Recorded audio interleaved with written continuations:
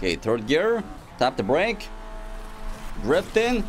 Okay, the drifting is really weird in this game. It is really weird. Let's try again. Jesus. Okay, there we go. Alright, that's not too bad.